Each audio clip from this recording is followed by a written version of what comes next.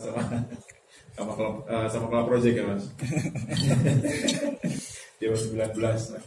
ya jadi memang kita pelayanan publik itu kan luas. fungsinya sebenarnya ya semua terkait dengan pelayanan publik ya termasuk tadi sih. Emang iya? termasuk ada apa uh, ini yang tadi minum? disampaikan, uh, disampaikan Mas Kirana memang bisa disampaikan ke Iya. kesempatan lapor karena kami juga sudah terhubung dengan Kementerian Oh iya uh. Pemberdayaan Perempuan dan Perlindungan Anak terus beberapa dinas yang uh, di Pemdanya juga. Jadi nantinya kalau misalnya ada permasalahan yang terkait dengan yang tadi disebutkan dia nanti bisa disampaikan ke kesempatan lapor tapi biasanya yang khususnya untuk yang kriminal memang biasanya kita yang tidak tidak di tidak bisa diadukan di lapor itu memang biasanya yang kriminal terus yang sudah masuk ke ranah hukum biasanya. Penyidikan, penyidikan. penyidikan gitu. Jadi kita nggak bisa mengintervensi itu.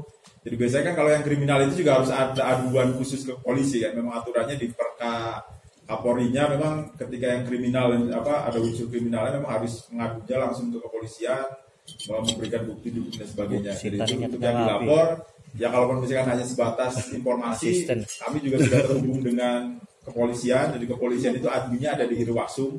Catatan Itu juga api. nanti bisa kami sampaikan. Tapi untuk tindak lanjutnya ya tetap memang khusus untuk yang kriminal itu harus mengadunya langsung ke eh, kepolisian gitu ke kantor polisi. Mungkin itu Mas Kirana. Terima kasih. Mungkin nanti bisa kasih kaos ya Mas. Iya. Oh, berarti sama kita satu sama. lagi. Berarti kita sama nih, sama nih. Oh, Ibu Kalau saya nggak jadi. belakang aja Bu. Maaf ya Bu. Silakan Bu. Nama saya Friska dari KPM. Ya. KPU? KPM Batu. Oh, KPM Batu. Ombudsman kan punya. Iya, Iya. lapor itu, tuntasnya seperti apa? Apa cuma standar? Nanti misalnya kita tanya itu apa cuma standar, nanti dilimpahkan ke daerah, misalnya kan masalahnya di daerah, kan ini nasional.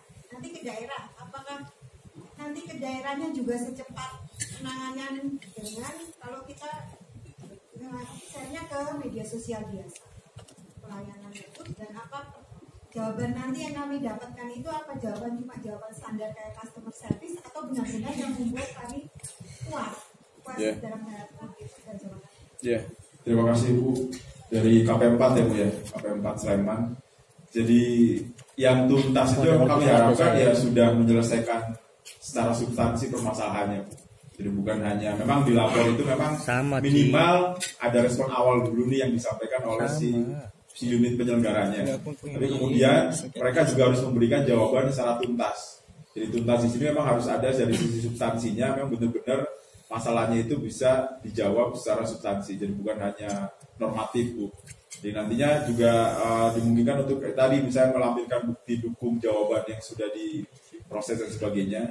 Jadi eh, kami juga sudah yang mengedukasi apa mensosialisasikan ke Pemdanya juga bahwa ya nantinya memang jawabannya itu harus tuntas dan itu nanti harus di nah memang nanti berdasarkan bisnis proses bu. Kami pengaduan ke lapor itu kan tadi kalau beberapa kanal itu kan misalnya kayak SMS terus kayak lapor.go.id Android apa dan beberapa kanal lain itu. Nah kalau lapor itu kami supaya memotong bisnis proses memang biasanya kami berikan domain khusus untuk Pemda misalkan Sleman Sleman spasi aduan kirim ke 1708 nanti pengaduannya tanpa terlebih dahulu ke Kemenpan. Tapi dia langsung masuk ke admin yang ada di Kabupaten Sleman. Jadi itu bisa mempercepat bisnis proses. Tapi secara pengaduan itu tetap termonitor oleh Kemenpan RB terus kami juga ada subdomain jadi nantinya itu juga bisa dimanfaatkan oleh Pemdanya ketika mensosialisasikan. Jadi misalkan sleman.lapor.go.id nanti pengaduannya ketika teman-teman masuk ke sleman.go.id itu ya pengaduannya langsung dikelola oleh adminnya Sleman.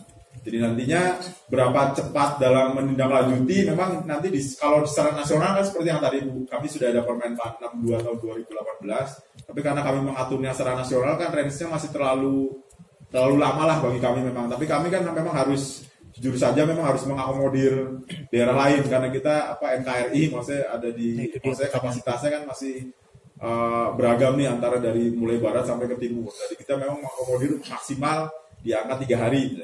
Nah tapi nantinya memang harus diturunkan lagi SOP-nya di masing-masing uh, pemerintah daerahnya. Misalnya ketika Kabupaten Sleman ketika misalkan apa penyelesaian kan nanti biasanya akan terbagi ke dalam beberapa klasifikasi Bu. Misalnya untuk permintaan informasi yang sifatnya cepat mungkin bisa diresponnya dalam hitungan jam. Nanti itu akan ada di SOP-nya dari masing-masing uh, pemerintah daerah. Misalnya yang permintaan yang tidak harus turun ke lapangan misalnya lima hari, yang harus turun ke lapangan bisa sampai 60 hari. Karena kami mengharapkan memang dari SM4N Lapor ini, kenapa ada peran ombudsman mungkin uh, yang sudah jadi sahabat ombudsman, kami menginginkan nantinya ketika pengaduan pelayanan publik itu disampaikannya dulu ke instansi pemerintah. Jadi memang di undang-undang pelayanan apa di undang-undang ombudsman juga sebenarnya ketentuannya walaupun memang ombudsman tidak berhak untuk menolak pengaduan yang masuk ke ombudsman. Tapi idealnya pengaduan itu diselesaikan dulu oleh instansi pemerintahnya.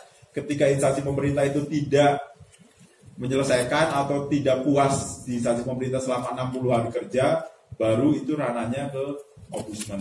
Nah di SM4 Lapor ini juga kita sudah sedang mengintegrasikan dengan aplikasi Simple punya ombudsman. Jadi ketika nanti 60 hari tidak selesai dilapor, nanti tinggal digeser ke ombudsman dengan ketentuannya sesuai dengan undang-undang yang ombudsman. Misalnya kan ada beberapa ketentuan yang memang harus dipenuhi, misalkan identitas dan sebagainya. Itu nanti geser ke ombudsman. Nanti bahas sistem seperti itu. Mungkin itu saja Bu. Terima kasih. Oh iya, silakan. Ya. Mau kami dari soal tuntas gitu ya. Yang saya tanyakan justru tadi kan dikatakan bahwa 73% pengaduan itu eh, terselesaikan gitu ya. Yang jadi pertanyaan saya justru sisanya 27%.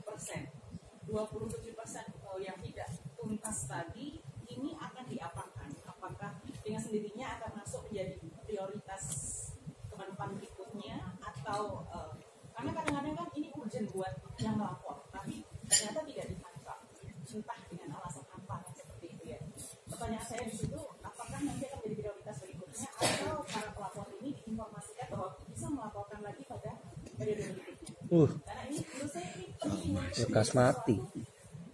terus diapain gitu loh kita udah lapor gitu kan Iya, jadi kalau di kami sendiri memang kan kenapa tidak dijawab itu memang biasanya ada beberapa beberapa hal. Apakah memang pemdanya yang belum terhubung? Karena memang kami mempersyaratkan keterhubungan pemda itu dengan ada SK Tim. Jadi SK Tim yang memang ditandatangani oleh kepala daerahnya. Itu sebagai bentuk komitmen kepala daerah sebagai pembina pelayanan publik yang ada di daerahnya untuk menyelesaikan pengaduan yang masuk.